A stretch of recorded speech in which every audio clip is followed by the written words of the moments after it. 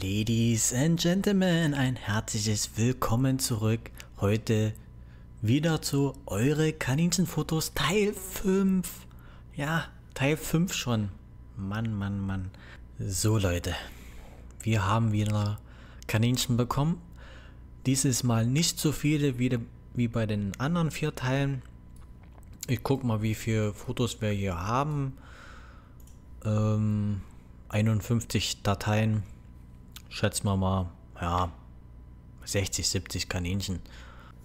So, auf jeden Fall muss das hier eine Rasse sein, weil das haben wir schon so oft gesehen. Wir wissen es leider nicht. Drei Farben. Das sieht mir so ähnlich aus wie so ein Holländer, ja, aber mh, hm, keine Ahnung. Naja, guckt mal hier, Farbenzwerg Japaner farbig.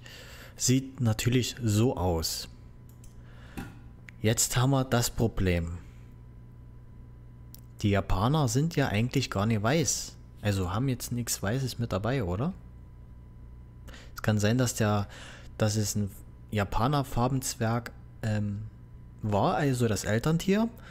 Und da wurde irgendein anderes, also das Weibchen oder der Rammler, hat irgendwas Weißes gehabt und da ist nämlich sowas draus entstanden. Hier mal natürlich den reinrassigen Farbenzwerg. Tja. So, das nächste Kaninchen. Boah. Hat ganz schön viel Fell. Ähm ich schätze aber, dass das hier ein... Naja, nee, Löwenköpfchen ist es nicht, weil die ganzen das ganze Fell, das ist fast gleich lang. Es könnte sein, dass das hier ein Teddy ist, oder? Ich denke mal schon, das ist ein Teddy, ne? Also wieder Japaner farbig. Man sieht das hier, das Hinterteil so. Japaner farbig. Ja, Teddy. Tja, was haben wir denn da? Also, das linke Kaninchen ist auf jeden Fall in Thüringer Kaninchen. Wunderschöne Kaninchen auf jeden Fall. Und das hier ist ein deutscher Riese Chinchilla-farbig. Haben wir auch noch nicht oft, so oft gesehen. Aber schön, schön groß.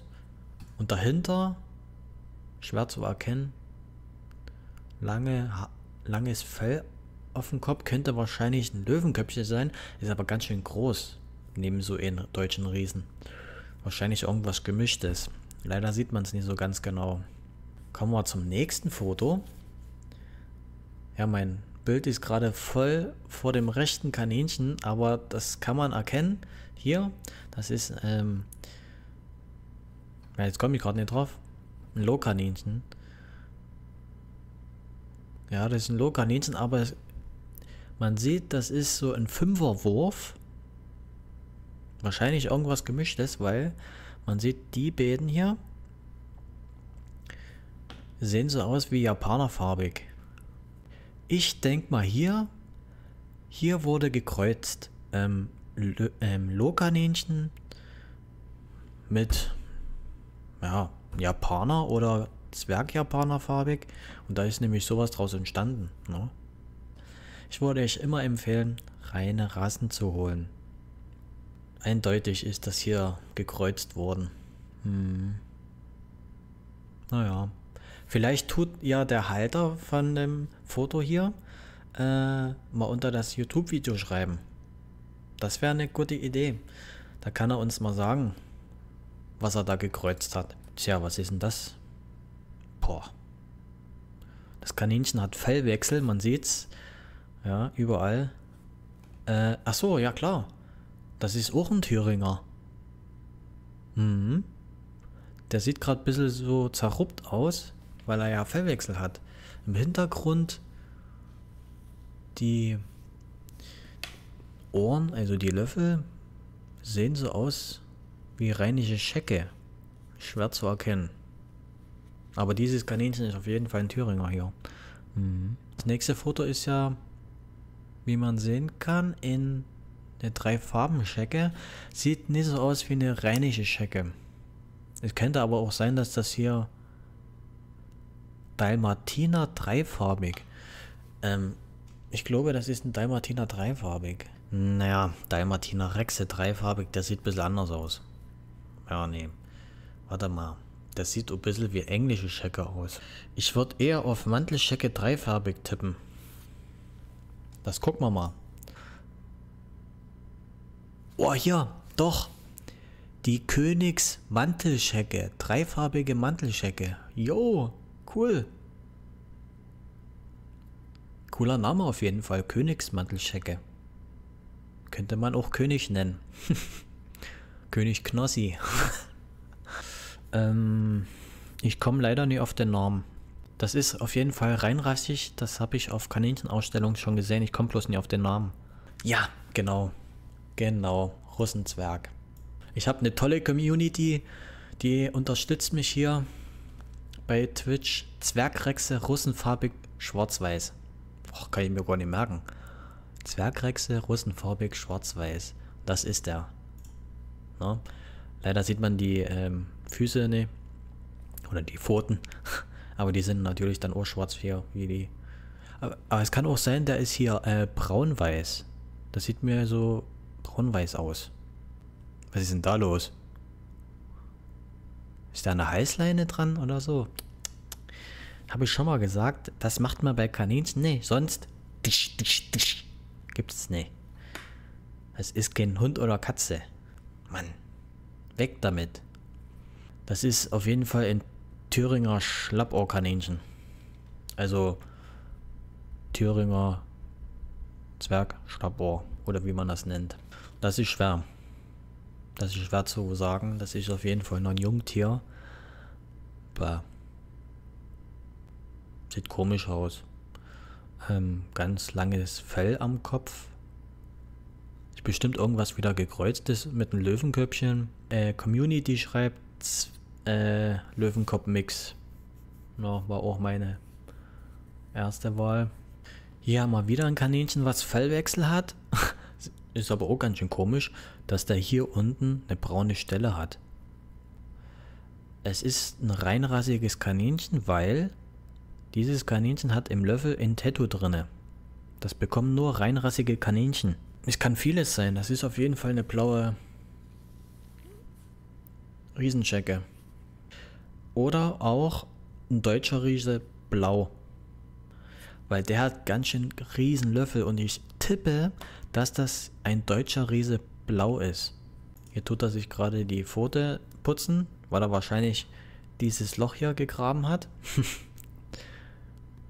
So, das nächste Foto. Hm. Das sind doch hier die roten Beeren hier. Das ist ja ein Strauch, warte mal. Johannisbeerstrauch. Genau. Wissen wir nicht. Das sind alles beide irgendwelche gemischten Kaninchen.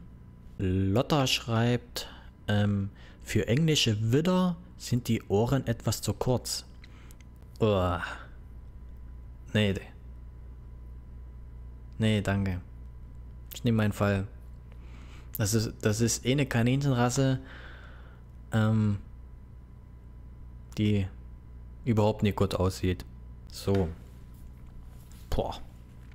Das ist auf jeden Fall bei einer Kaninchenausstellung gemacht worden, das Foto. Und es muss auf jeden Fall eine reine Rasse sein. Hasekaninchen, genau. Da haben wir's.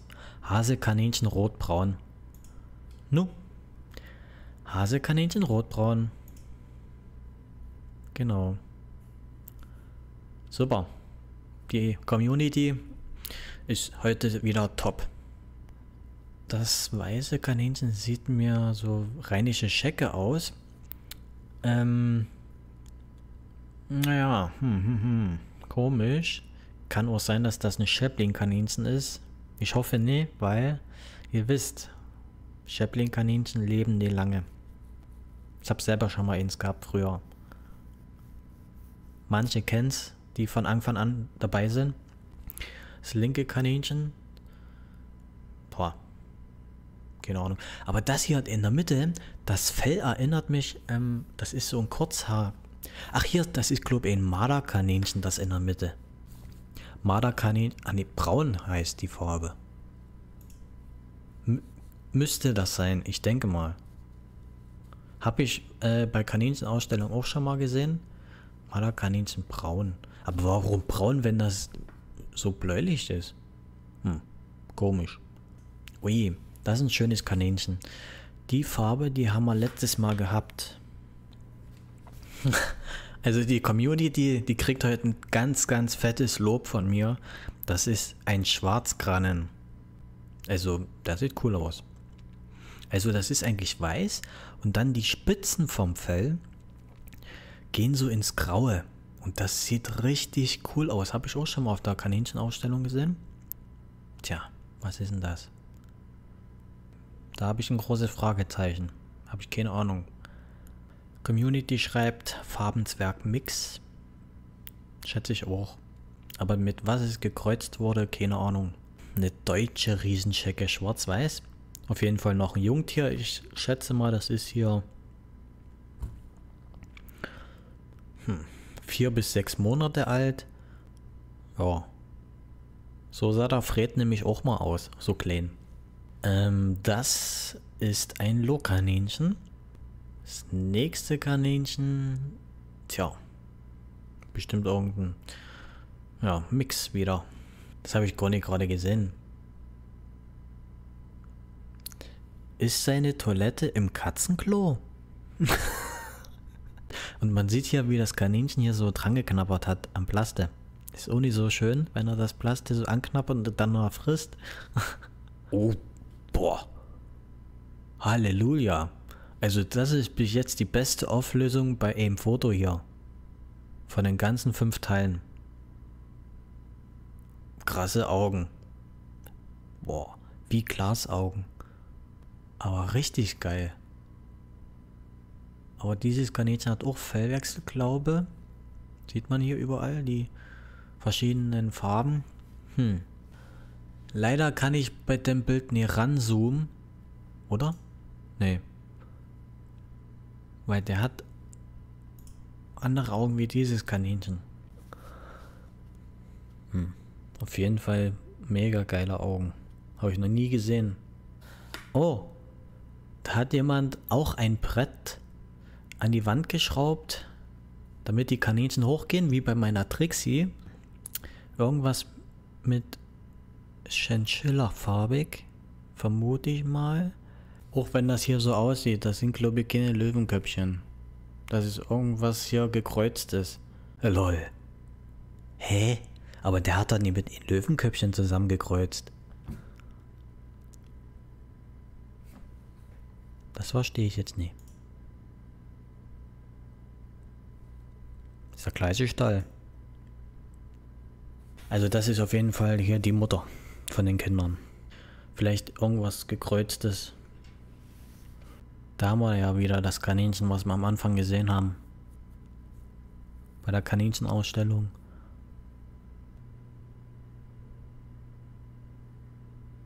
Lol. Holländer, Japaner, farbig weiß. Geil. Ah, nee. Das ist doch... Die Rasse ist wirklich so Holländer, Japanik, weiß. Bitte merken. Ich merke mir das jetzt auch ab sofort. Ähm, das ist eine englische Schecke dreifarbig. Wieso eine englische Schecke? Weil die ganz viele kleine Punkte hat viel mehr Punkte als eine rheinische Schecke. Das ist auch eine englische Schecke, aber hier schwarz-weiß. Und hier haben wir ein Kaninchen, was ja Nickerchen macht. Das ist ein deutscher Riese. Äh, deutsche Riesenschecke schwarz-weiß. Wird gerade mit einer Möhre gelockt. Was ist denn das hier unten? Irgendein kleines Kaninchen. da seht ihr mal, wie groß eine deutsche Riesenschecke ist, neben in kleineren Kaninchen. Das ist schon heftig. Also die Riesenschecken sind manchmal größer wie Katzen. Da es auch wieder. Ich komme jetzt nicht drauf. Genau, das ist eine Mantelschecke dreifarbig. Habe ich nochmal nachgefragt. Community, Community sagt das gleiche. das ist ein süßes Foto. Ähm, drei Schlappohrkaninchen Das rechte ist ein Fee-Japaner. Mhm. Kenne ich gar nicht. Aha, das in der Mitte ist eine Wildmantelschecke. Ein bisschen verschwommen. Kann man besser machen, das Foto, wenn man ranzoomt. Äh, das ist auch ein Mini-Lob. Wahrscheinlich hier blau, die Farbe. Hier hat der Halter mir geschrieben, der weiß nicht, äh, aus was der gekreuzt wurde. Also, ich hoffe, das sieht man hier gut. Das ist ein Kleinsilberschwarz. Es gibt aber auch ein Groß-Silberschwarz. Und ähm, der wurde ja mit einem weißen Kaninchen gekreuzt und da ist das nämlich draus entstanden. Wildfarbig Mantelschecke. Ja, Community schreibt das so. Das ist ein schönes Kaninchen. Ähm, ein Löwenköpfchen. Japanerfarbig. Das ist ein Löwenköpfchen Japanerfarbig weiß. Wie die Rasse hier. Nur ist das ein Löwenköpfchen. Das müsste eigentlich jeder kennen. Das ist ein heller Großsilber. Oder auch ein Kleinsilber. Sind nur die Größen immer unterschiedlich. Dalmatiner Zwergrex. Ey, die Community bei Teil 5 ist heute Bombe. Zwergrexe Dalmatiner schwarz-weiß. Da mal davon zwei Stück. Super. Tja, was ist denn das?